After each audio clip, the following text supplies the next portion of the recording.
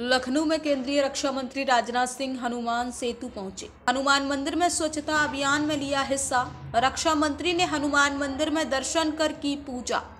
केंद्रीय रक्षा मंत्री राजनाथ सिंह ने श्रमदान किया। भाजपा धार्मिक स्थलों पर चला रही स्वच्छता अभियान। प्राण प्रतिष्ठा के पहले दिन चल रहा स्वच्छता अभियान। सभी तीर्थ स्थानों, मंदिरों में सफ़ाई का अभियान। 14 जनवरी से 22 जनवरी तक स्वच्छता अभियान।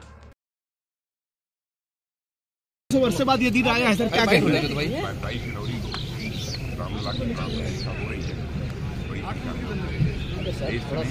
भाई भाई फ़ोटो फ्रेम नहीं पूरा राइट हो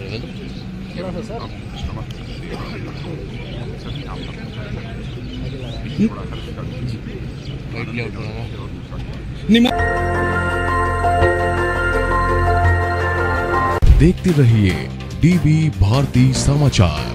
नज़र हर खबर पर।